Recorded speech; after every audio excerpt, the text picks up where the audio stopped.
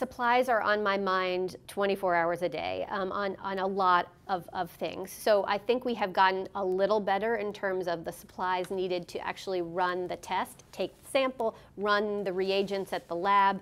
Um, but I think supplies are going to continue to be of issue for us. So we are having to make hard decisions about when to ramp up testing, um, how to think about that over the long term so we can conserve not just testing supplies, but also the personal protective equipment we, is, that is needed for our healthcare workers. We don't want to burn up all of our or use up all of our masks and our gowns for our healthcare workers now during testing. And then when when if we see a surge of people getting sick then we don't have the supplies we need then. So what I would say is this is a this is going to be rapidly changing